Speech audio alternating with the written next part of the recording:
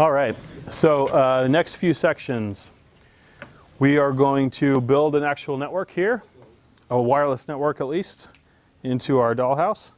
We have an example Althea router that we can uh, potentially play around with.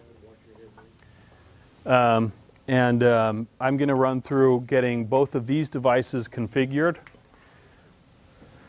Uh, so we'll pull up the setup for both of them. I don't know how many people have seen the Ubiquiti stuff before, but we'll get to see that.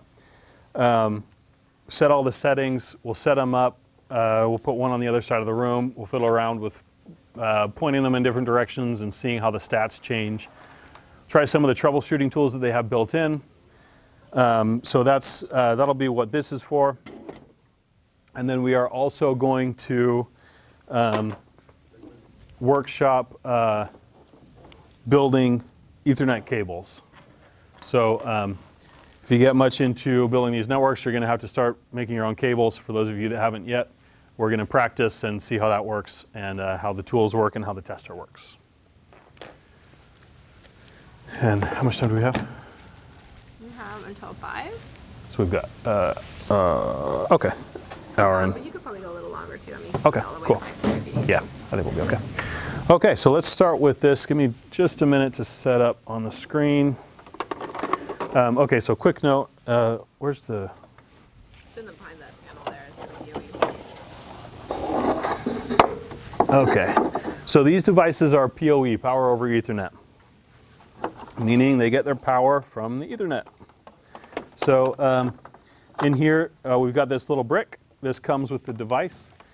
On uh, it has two Ethernet ports on it. Uh, many of you might be familiar with this, but um, one side has PoE, so it sends power and data out, goes up into this device. The other side gets connected into the network. Right now it's connected to our Althea router right here. I'm going to unplug it and plug it into my laptop so that I can get into the uh, management interface of this device and we can start configuring it. I wrapped it up nice and tight for you. What's that? Wrapped it up nice and tight. Yeah, right?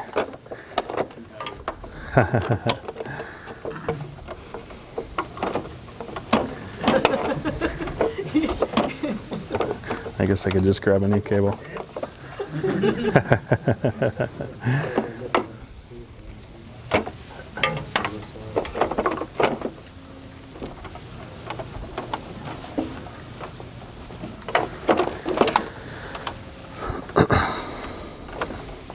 So this is a pretty good representation of if we were hooking up a customer, a residential home customer, what might go on their roof. This device is outdoor, designed to go outdoor and could actually just sit on somebody's roof. This little arm mount works really well up on the rooftops. We'll talk more about how kind of installing on a customer tomorrow. But if you're curious, if you haven't seen before what it might look like, uh, this, you know, this, this whole setup right here is just what would actually go up on their roof. This would aim toward an access point, and this could be their whole installation.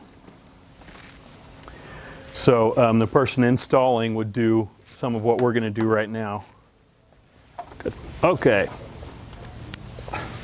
As a note, the maximum run distance for Ethernet is 100 meters. Oh, that's a good point. Everybody hear that? So Ethernet, if you're running an Ethernet cable, the maximum distance you can go is 100 meters. It's like 320 feet or so. so. Why is that? That's just how they're designed. Similar thing. The, there's some loss in the signal across the cable, and they're designed to work up to about 100 meters. If you plug it in something and then out the other end, so like you put it into a router and then Yep. out another port of the router, it resets. So Yeah, so you, yeah, you have to put a switch or something in between if you need to go longer, or just move to fiber. You can get up to kilometers distance with fiber connections. So, you know, that's the Yeah, coax can go further too. Okay, so uh, to get into this device, um, the first thing I need to do is, oh, I already have it configured. So these devices run their own web servers so you can log into them directly. By default, um, the address of the server is, and they have these, I think, printed on them and printed on the box, but it's uh, 192.168.1.20. All right. Does it do DHCPs? It does not. These do not do DHCP, they act as bridges. So what that means, the question is, does it do DHCP? You have to do some configuration on your laptop or device that you're logging in from to be able to get into this. The easiest thing to do, if, you, if you're not familiar with subnetting and don't really know, just give your, You have DHCP client. Like, I'm so sorry? can I plug it into my router and then access it as another client?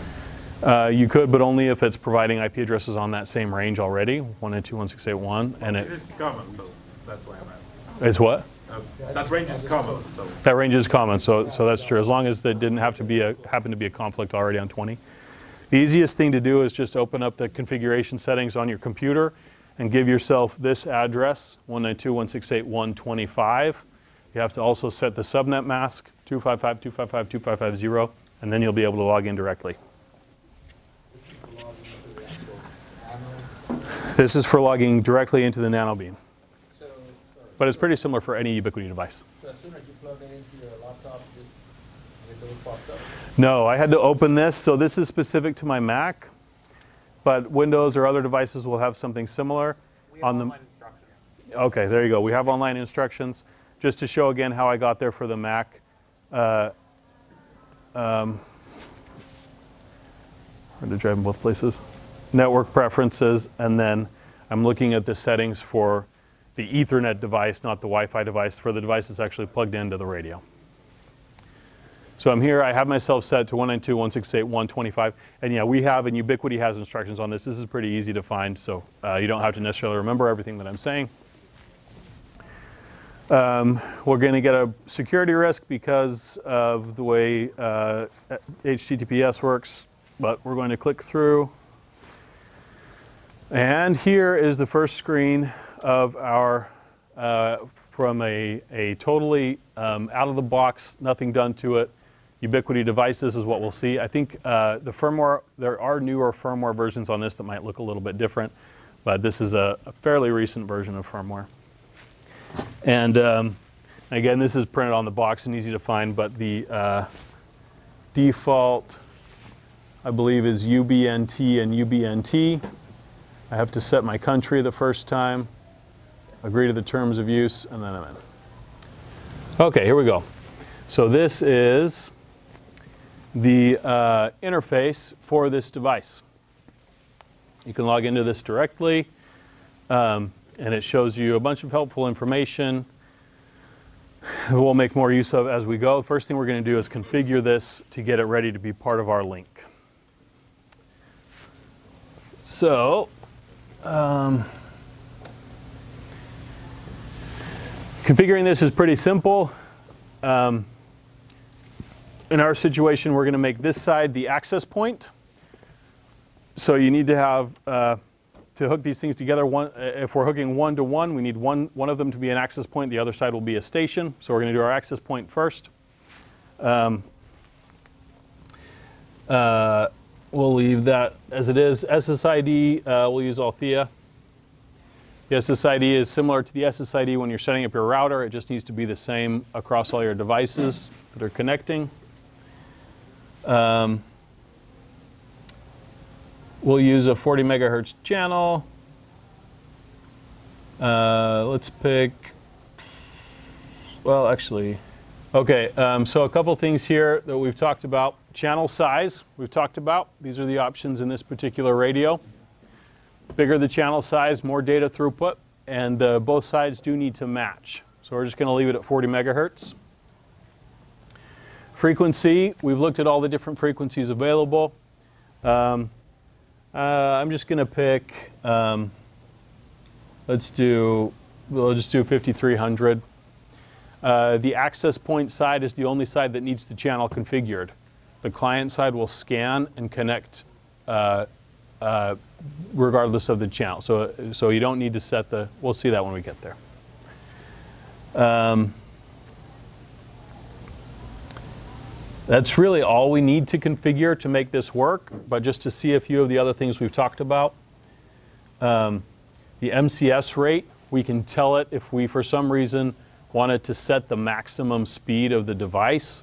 Maybe we have reason to believe that it won't perform well at higher MCS rates and we want to just limit it. We can do that here. I usually don't. I usually just let it go as high as it will go, but we can if we wanted to. Um, and we can set security just like you would on your home on your home router. Um, I think I'll leave that off for for simplicity. But if you were deploying in the field, you would probably want to set a security key so that the traffic can't be sniffed out of the air. So the question here is around um, WDS transparent bridge mode. Um, uh, that's a feature that I, I think originally in the in the Wi-Fi spec, a Wi-Fi bridge uh, isn't transparent, meaning that MAC addresses on devices don't just and, and frames don't just flow through. Um, and if we set WDS transparent transparency mode, then the bridge itself becomes really just a bridge, and data isn't changed as it goes through. I don't remember all the specifics, but I think that that can, in theory, limit um, uh, interoperability with some other devices, but should increase performance. So if we were not using all Ubiquiti devices, we may want to consider not setting that. But if we are, then I think it's fine. Is that is that your? Yeah, um, that and it, and um, and it lets you just think of the antennas as big e- as fancy Ethernet cables. Right. Yeah. Yeah. Yeah. So the trans. Yeah. Yeah. Exactly. It, it makes it totally transparent that nothing, uh, data go, comes in exactly as it came out, where it might not if we didn't do that. Right. I, I think that's fair. Anything else at this point? Probably should grab the firmware because I feel like the newer firmware has a lot of other stuff. But yeah. Um, I'm noticing DFS is some frequency on your frequency there. yeah. So yeah, that's good. Good. Output power and Is that enough for doing Yeah, yeah, so let's talk about all those things.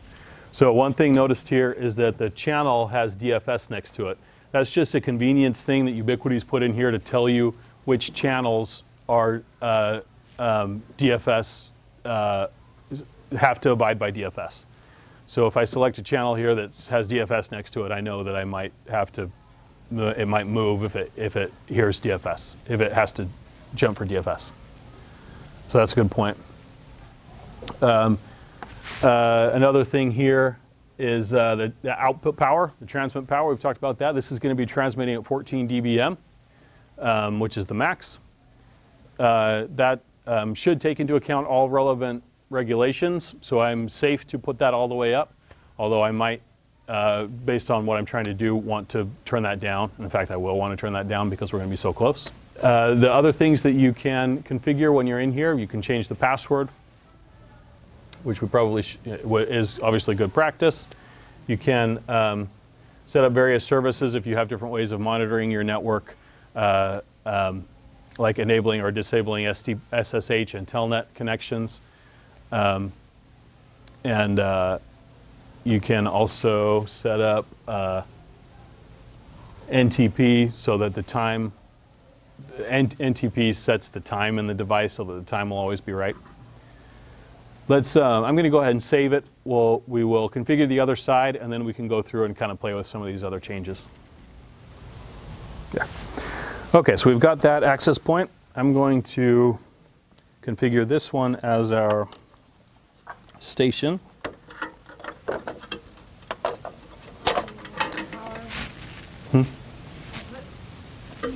Power? I'll just, I'll just do, um, I'll, I'll do it, and then we'll move it over there and power it up and connect it.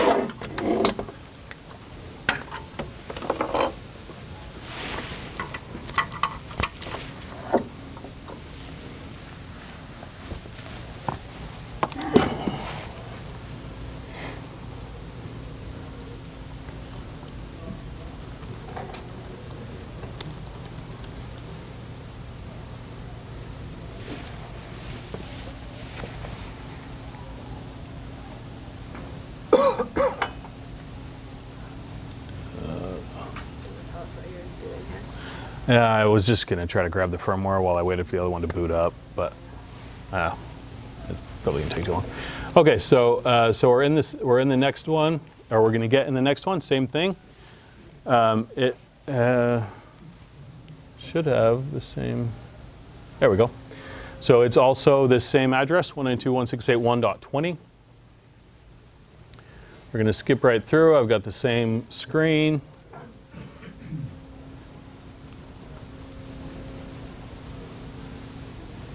And uh,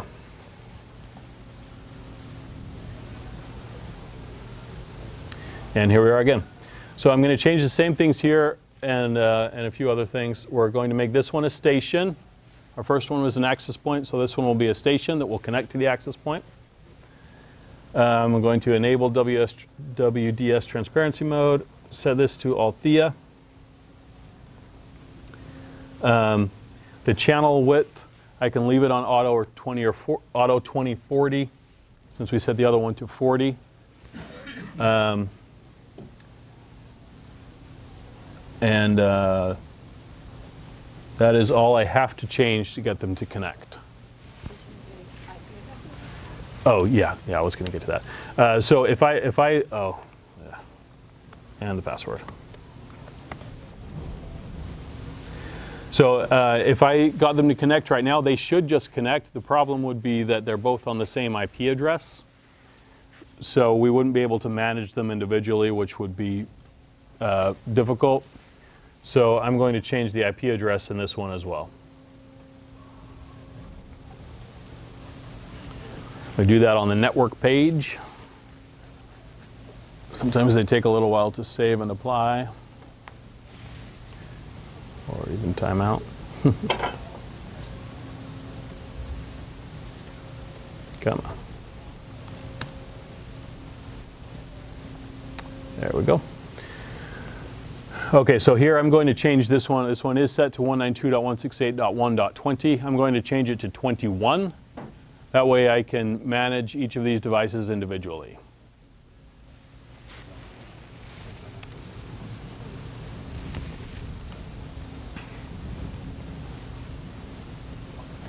So now I've changed this one, this one's uh, IP address to 192.168.1.21. You can see that I can now, excuse me, I now can log in on that new IP address, um, and it should have. Uh,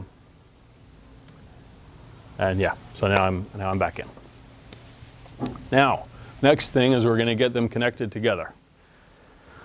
So we're going to take this one, put it over on that side of the room somewhere, point it back at this one, connect them up, and if I did everything right, they should just connect. So fingers crossed.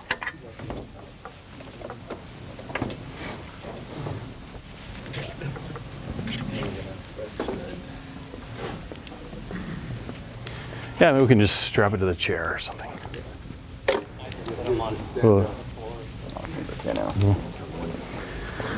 Okay, let's see what happens.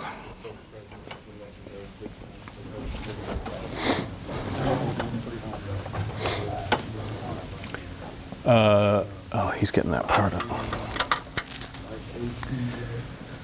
Okay. These do have a little signal light indicator. Some of the Ubiquiti products do, some don't. These ones do. On the side here, it's probably kind of hard to see from there, but there's some blue lights. One of them is a, a signal indicator indicating if they're connected and how strong they're connected. They are not yet, but they probably will be soon.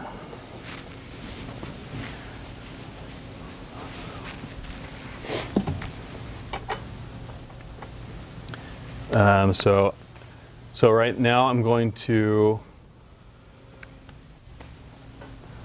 um, I'm going to log into this device and uh, should be able to see them connect. Hopefully. Yeah, thank you. I knew I would forget. Is this interface also available via Wi-Fi if you're doing an access point? Um, yes, actually. I'm asking because I've seen HTTPS and I wonder why. It's used for Oh. connection. Um, yeah, uh, yeah, that's a good point. They well, so there's a couple. So the question is: Is this interface available via Wi-Fi? And related, why is it HTTPS instead of just HTTP? Right.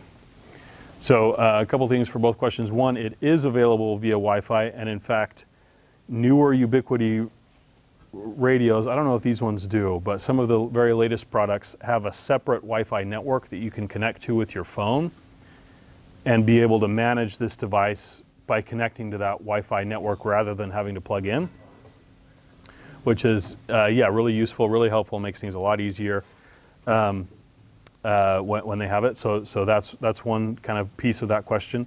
The other piece is that maybe true that uh, SSL is a little bit overkill, but this is available over the network.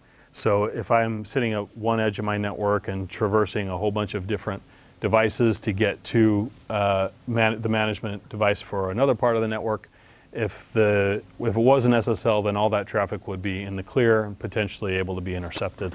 So that's I think why it's SSL. Okay, my lights have lit up here. I don't know if you can see them, uh, but if you can, there's four blue lights here. That means this is connected and it, with as strong a signal as it can get. So if I refresh, I should see a connection.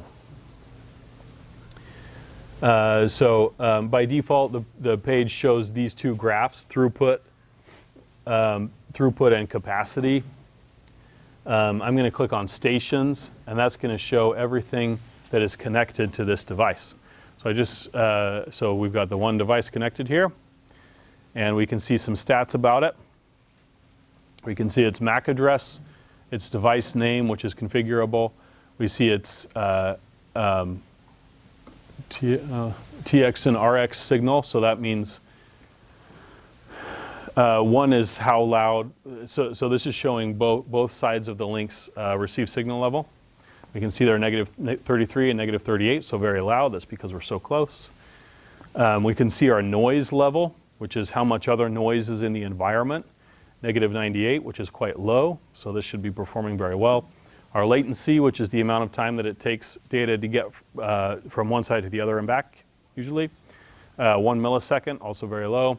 Distance, which I think is even overestimated here at a tenth of a mile. Um, or uh, this is what I call a tenth of a mile when I'm jogging, actually. So this seems about right. uh, our TX and RX data rate, which, if you remember, we talked about MCS rates, uh, and this so this is estimating what it thinks that it can actually transfer across the link. So 300 megabits both ways. Um, the CCQ is a is a Wi-Fi thing that measures the quality of the connection. Um, and uh, and how much of the connection is available at any time. Um, and, and it's estimating it at 100%, which is great. Connection time, how long they've been up, and the IP address of the other side. So we see a bunch of information there about these devices. Um, there's a couple of other things that we can do. Um, uh, to, to, test the, to test the connection and play with the connection. So um, I'm just trying to decide if I want to do the firmware first. uh, but we'll show it on this first, and then we'll, then we'll see. So these devices have some, some uh, helpful tools built into them. One of those helpful tools is a speed test. This speed test does, uh, if you're familiar with iPerf, it does something very similar to an iPerf from one device to the other. So you're getting slow speeds and it's, you know, you have six of these links all daisy chained off of each other and you're trying to figure out which one of them is underperforming. That can be kind of difficult. You can use this speed test feature to do a quick speed test between any Ubiquiti device and any other Ubiquiti device and help you begin to narrow down where this problem might be in your network. Is that a generic network tool? Or is it specific to? It is specific. The question is, is that a generic network tool or is it specific to Ubiquiti? I believe that it is specific enough that you can't easily test from another device directly to a Ubiquiti device. It's probably possible, but I think it is iPerf down underneath somewhere, but I don't, I, I think they change it somehow. Will the firmware auto update across the network? It will not. The question was, will the firmware auto update across the network? Uh, by default, it will not automatically update. There are tools like UNMS that I mentioned earlier that will manage that for you and will do uh, uh, firmware updates for you. Or you can do firmware updates manually. I think in just a minute, I'll show the firmware update process. We'll get both of these updated. So do you have to go out to each station to manually update? Oh, good question. So, question: Do you have to actually physically go to the station to update it? The answer is no. You can update it across the across the network. It just by default, when you plug it in, it won't do it itself automatically. You have to log into it and tell it to do that. Um, but uh, but again, there is there are tools like UNMS where that can be automated. So let's try running a throughput test, and then and then I think we'll upgrade the firmware. So like I mentioned, we can actually test to any other Ubiquiti device. So if I had another Ubiquiti device way out somewhere else on the network, as long as I have its IP address and those IP addresses are routable between each other, I can, I can throughput test uh, to the other one. But in this case, I'm just going to throughput test to uh, directly to fr- from this device to that device. Um, I do have to know the username and password of both sides in order to do this. So I'm going to put in the username and password.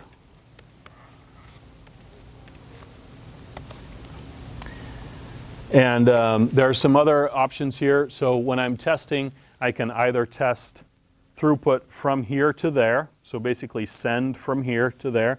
I can test from there to here, so basically receive, or I can have it do both.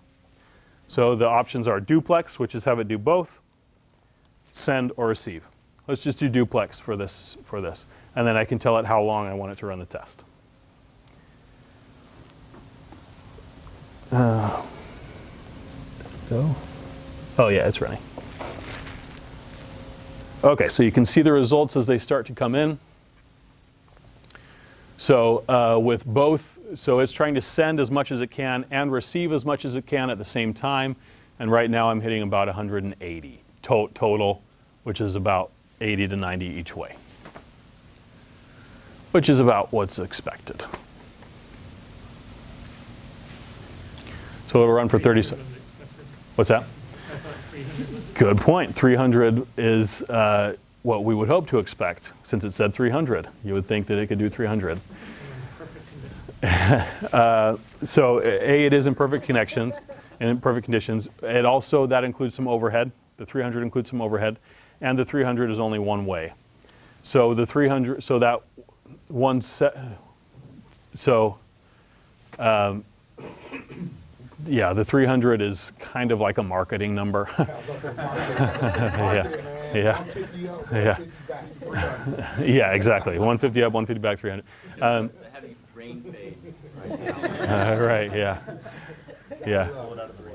So the cynical thing is that that 180 is 300, but uh, but but that's because there's overhead and they're adding them together. And let's actually try just doing one direction and see. Uh, let's do transmit. Because you'll remember we talked about that uh, these devices are half duplex. Again, that means that they can only send or receive. They can't be doing both at any one time. So, uh, okay, so now we're getting yeah, about 151 direction, which I think is where that 300 comes in. So yeah, so that this is a helpful um, uh, troubleshooting tool. I use this a lot, trying to troubleshoot speed problems. There's some other things in here. Um, uh, ping. Uh, many of you are pr- probably familiar with ping. Ping just sends a message from one spot to another spot, and then it should come right back. So uh, if you're just trying to see if a device is alive and responding, ping does that. Um, uh, we've got some other uh, statistics here. I'm actually going to log into the client side.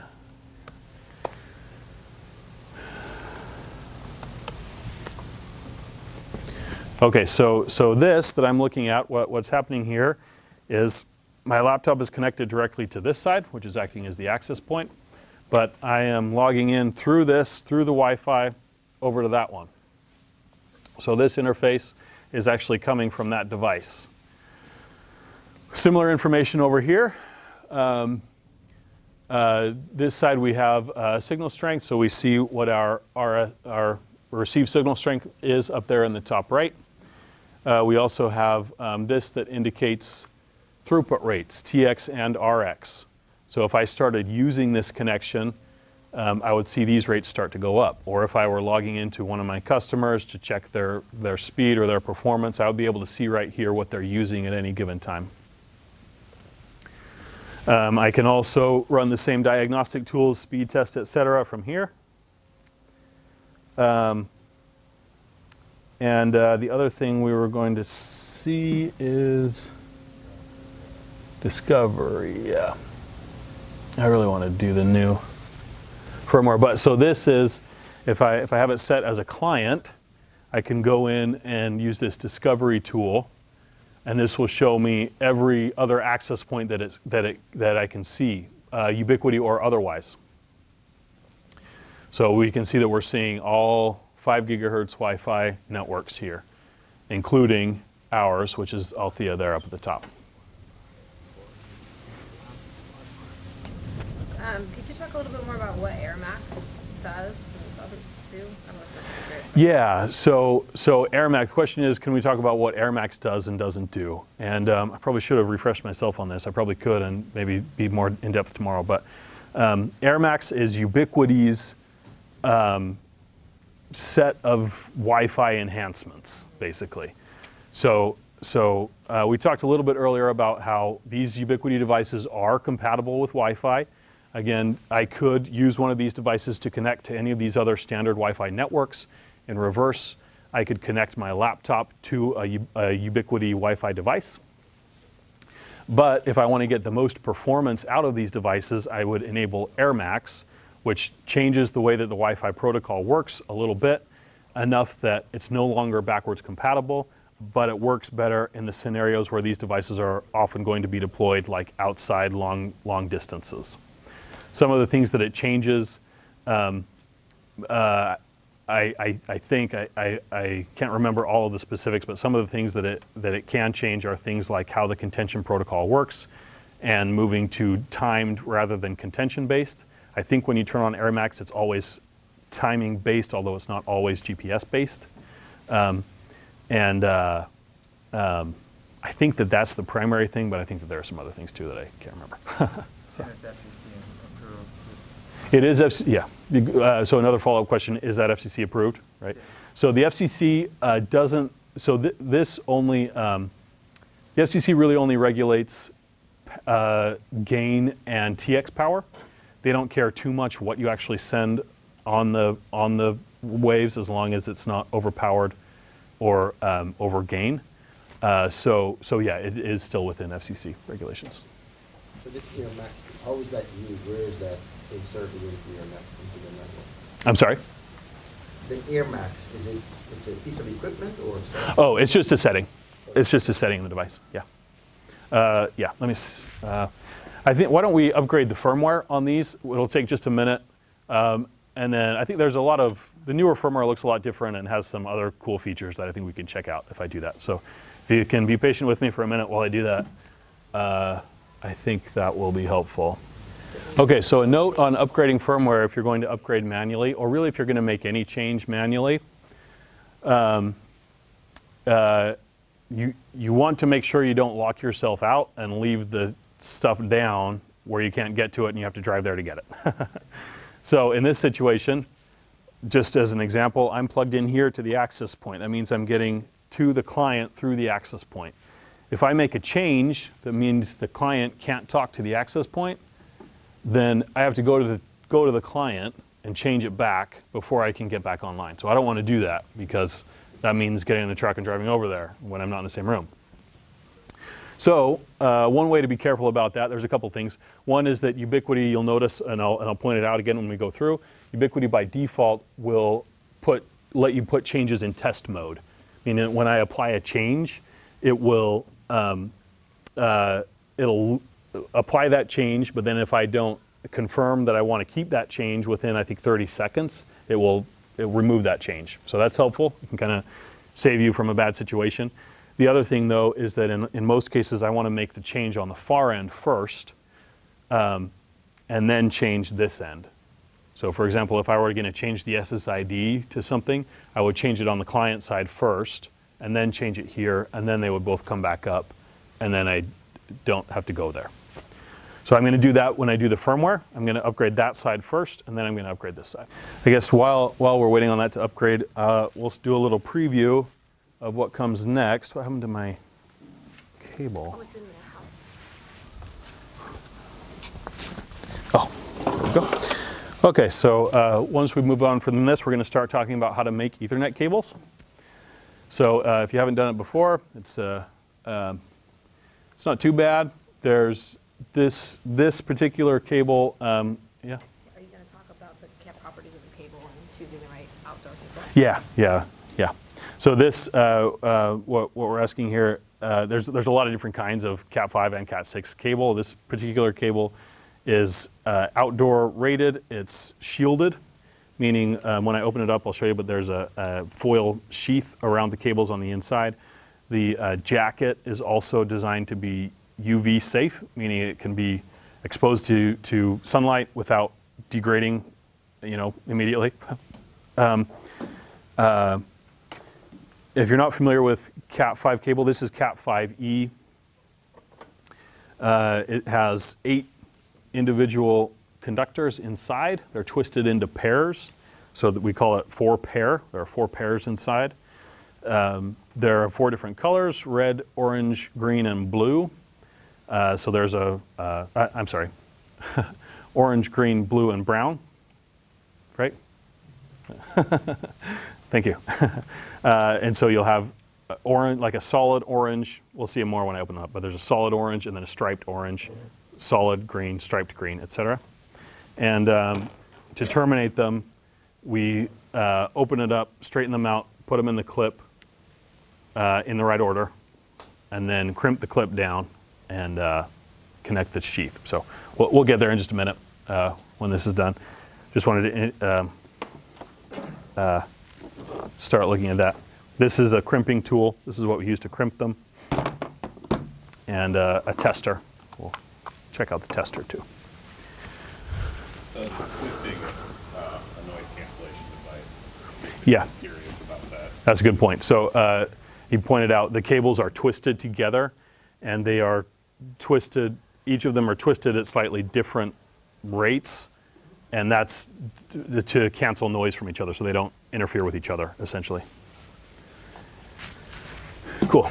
Okay, so we got one side upgraded. I upgraded that side. It looks like they did connect back up, so that's great. I'm going to go ahead and upgrade this side. So a little bit more about Cat5. Um, we talked, uh, so there's Cat5, Cat5e, and Cat6. Cat5 isn't um, really used anymore. Cat5e is any anytime anytime you hear Cat5, it almost always means Cat5e. Cat5e is designed to support up to a gigabit.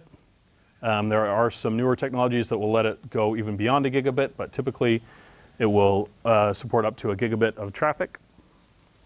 Um, and, and like we mentioned earlier, it's, it will only work up to 100 meters. So if the run is longer than 100 meters, you'll start to see problems on the Cat5 interface. You'll start to see uh, packet loss, et cetera. Yeah.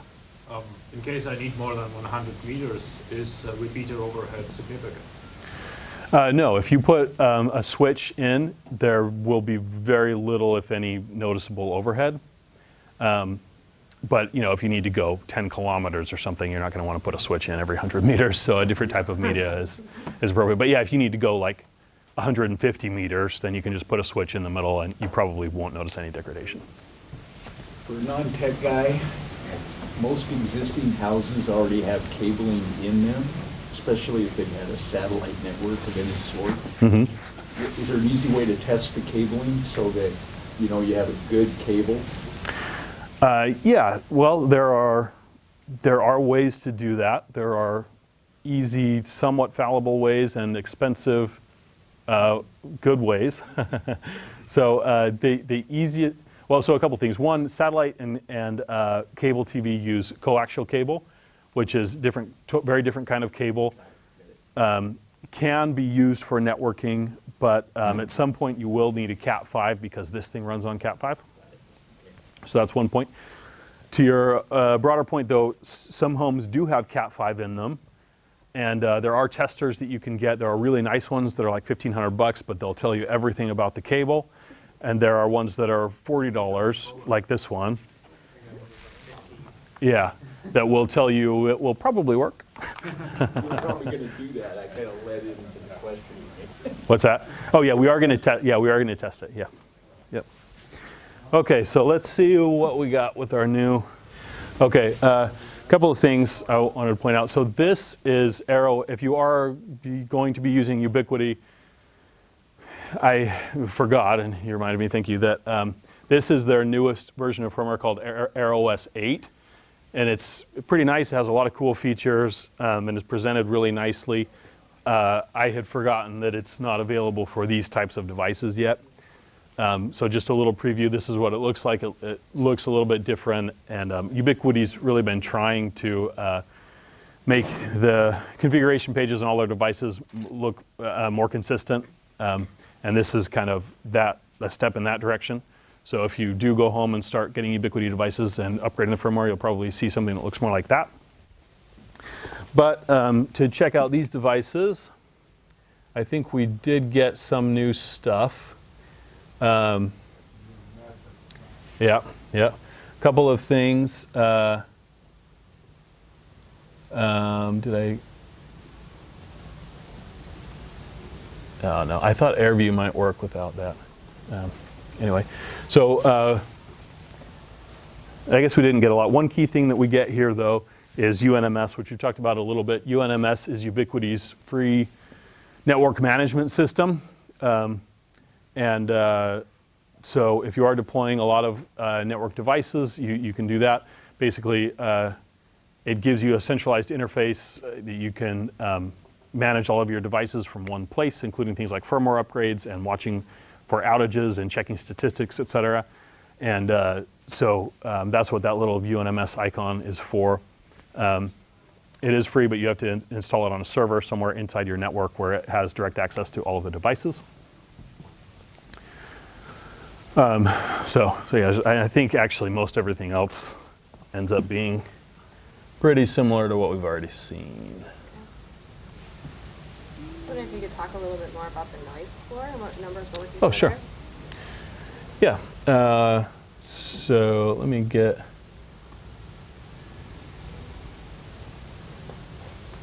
Um, yeah, this will show a lot of them. So the question is uh, talking about the noise floor, what numbers are expected there, and what that means. So the noise floor is um, kind of what it sounds like. We, we have our, our signal, so these two are talking to each other. And the, you know, this one can hear that one at a certain level and vice versa. The noise floor indicates how much other stuff is going on in the environment. So the more other 5 gigahertz devices that are around here talking, uh, the higher the noise floor is going to be. And it is also measured in dBm, decibel milliwatts, so it is directly comparable to the received signal level. So another important number, um, so we've talked about our received signal level, we've talked about the noise floor. Another important, important number is the signal to noise ratio, meaning how much higher is the signal than the noise. Um, so you can look at these and see uh, um, it shows right here on one side the signal, on the other side the noise. So we've got negative 60 to negative 96 in this case, signal to noise ratio. In general, in order to get the highest throughput rates, you need, uh, I think, at least 18 and probably closer to 20 dB difference between the signal and the noise. So uh, most of the time, um, if you're if you're getting a good received signal level, good meaning maybe 55 or better, uh, unless it's a really noisy environment. Most of the time, your signal to noise is okay, but it is good to look at the signal to noise specifically.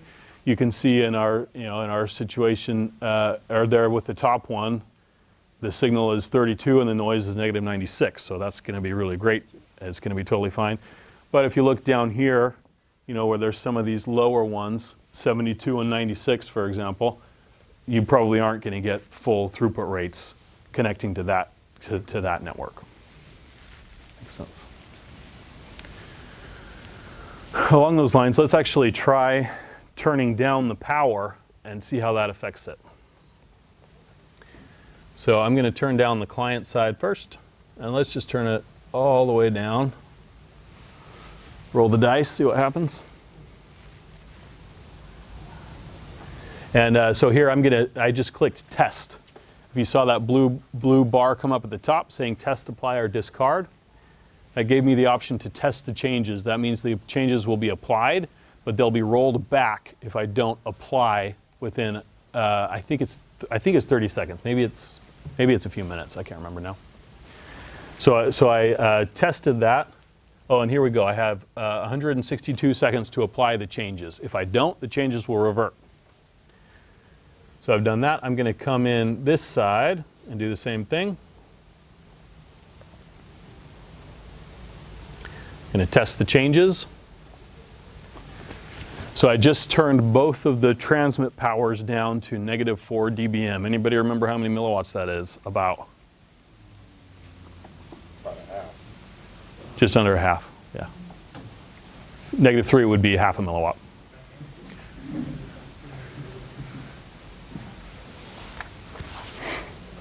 Okay, so we've got applied. Let's see what happened to our signal levels. So the question is, we're waiting right now for these to connect. Is that because of DFS, because it's clearing the channel? Uh, yeah, it probably is. So this device does have to wait for 60 seconds before it can transmit. I thought it, I thought it said somewhere if it was doing that. Um, oh yeah, DFS wait. Yeah, it's a good point.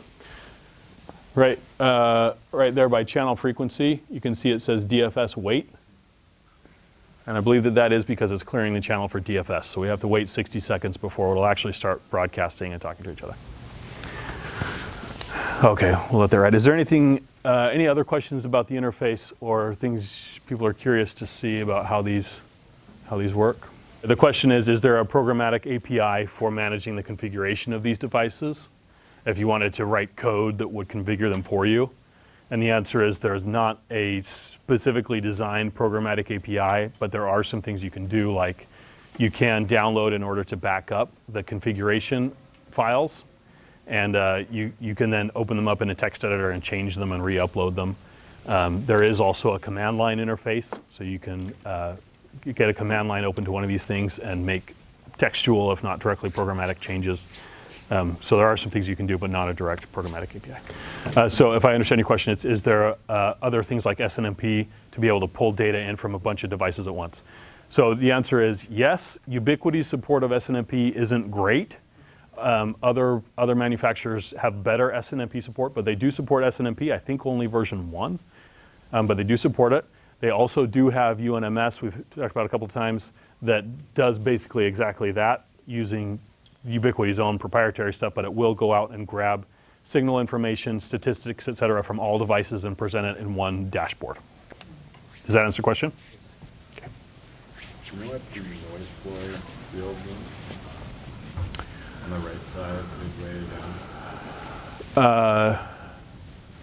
Oh, yeah. So that's the, uh, so the question, then, what's the noise floor on the right side halfway down? And that is just uh, what is the noise floor that this thing sees at the current moment. Um, with its, with it, I think since it's not connected, it's not as meaningful, but um, because it would correspond to its current connection. But um, And floor in this context? Oh, yeah, that's a good question. The question is, what does, why is it called noise floor and not just noise? Is that what you're asking? I think it's just a terminology thing, but it's, um, it's kind of, so the reason is, whoops, uh, it's, um, so you have all this noise, and then the signal kind of pops up above it, and it just is, kind of looks like a floor. I think that's why the term is floor. Cool. Do you want to maybe show the cable and then we can break out into Yeah. If you wanted to spend time with you with the cable and then if there was on your other questions. Oh, sure. can take Yeah, good idea.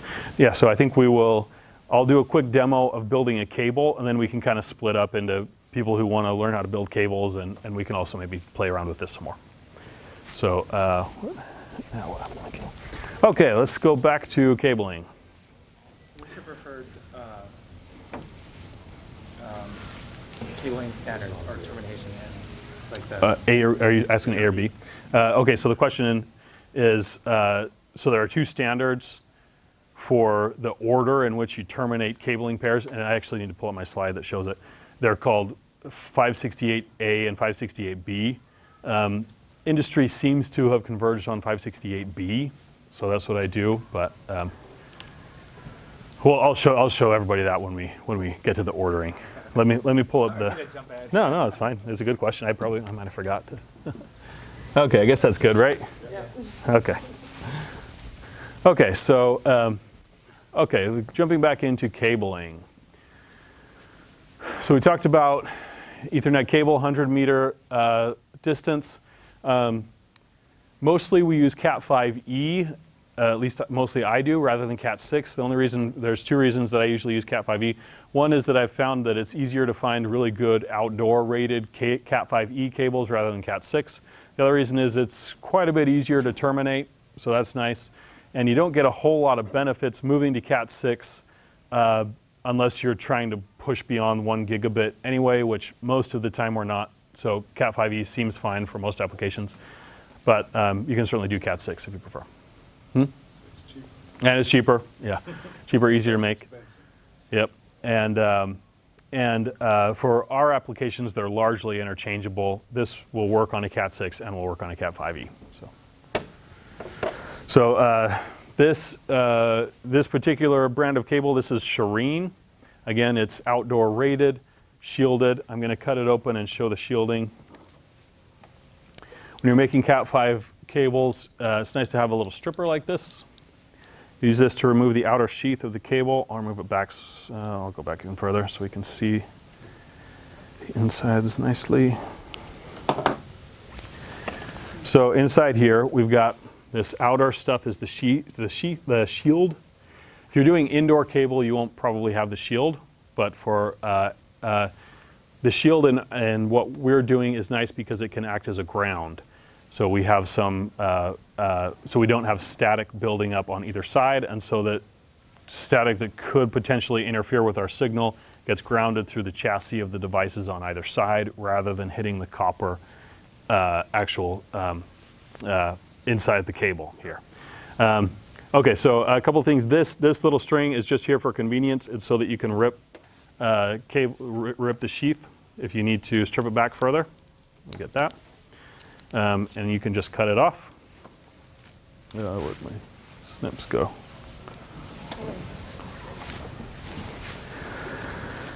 Um, inside the sheath, or inside the shield, we've got the uh, four different pairs.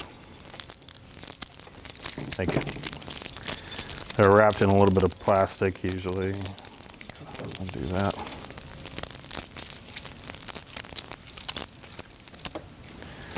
So here's our four pairs. So I'm going to trim this back.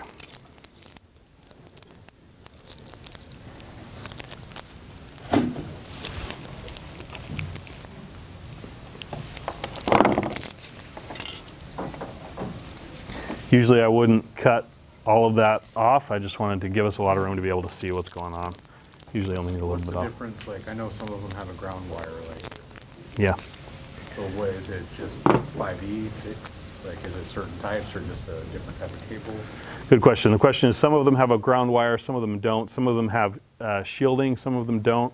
What's the difference there? So there are a bunch of different uh, types of Cat5, and they they're um, you can see the name as as like uh, STP, which stands for shielded twisted pair. I think there's FTP, which is like foil twisted pair. Uh, there's a few others. Um, so they're they're kind of subtypes of Cat5e.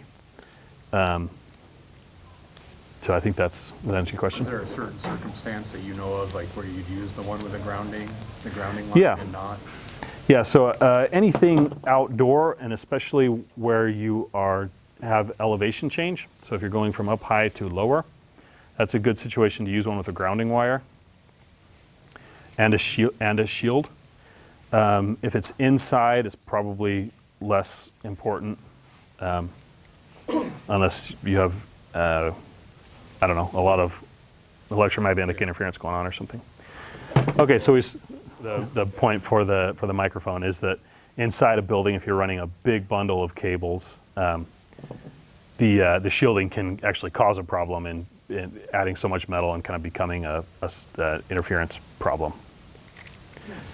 So uh, we've got four, four cables here, brown, green, blue, and orange. And our goal is to get them in the connector in this order, crimped down like that.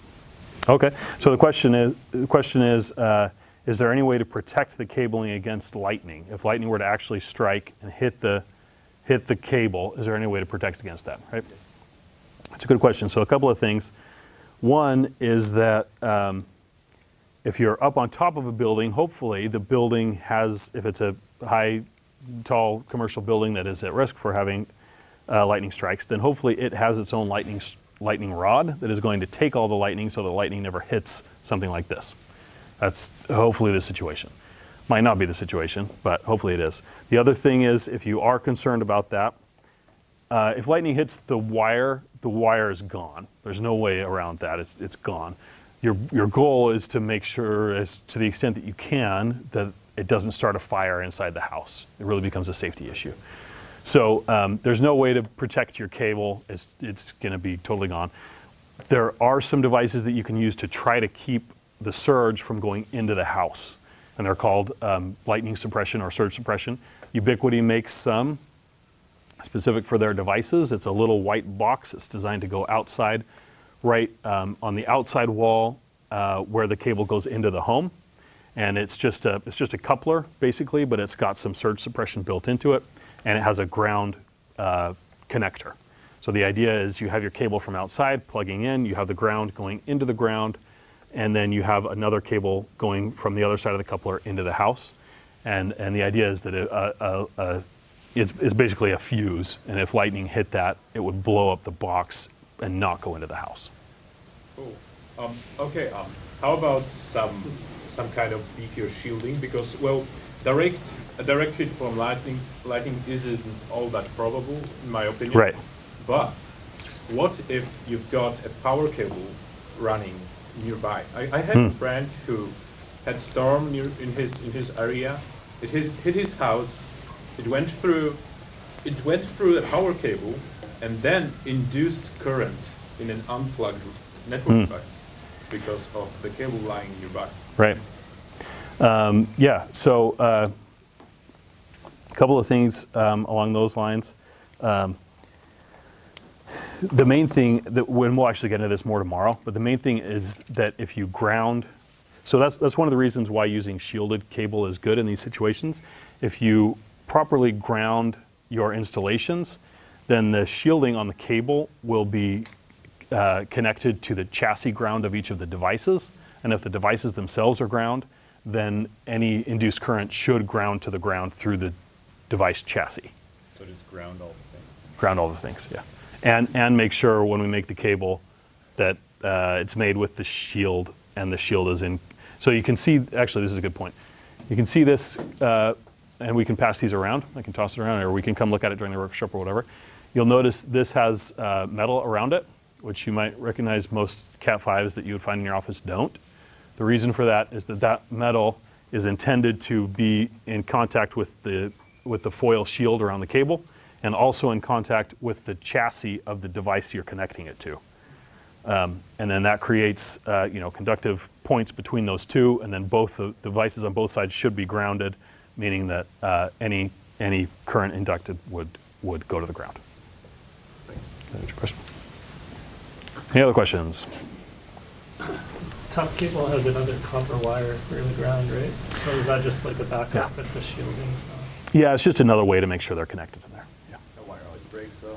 Yeah, it's hard to keep it. It's hard to keep. This one actually, uh, I think, does too, or some of them do. I don't actually see it on this one, but Liquid seems to be pretty strong. the problem that people, s- yeah. So the t- the questions we're talking about tough cable, which is Ubiquiti's branded uh, outdoor cable. Maybe they've fixed it, but they used to not be as UV shielded as they claim to be. And a lot of people had problems where they put them out in the field, and after a summer or two, the shield, the sheath on the on the Ubiquiti tough cable would just crumble, and the cables would fall apart. So I don't tend to recommend tough cable just because I don't trust it for that. Maybe they fixed it, but um, okay. So uh, should we split up, or sh- Yeah, should we so kind of split up into? What we'll do here for the next, is, is go ahead and just do some milling around. I think that those sort of questions are easier sometimes made person to person. So the Althea crew will be here. Um, and then if anybody wants to spend some time with Graham or with someone, um, you know, building the big some cables, doing some hands-on stuff, or working with the radio dashboard, Yeah. we're all willing to help with that as well. Okay, And should I we're keep- back here tomorrow at nine thirty.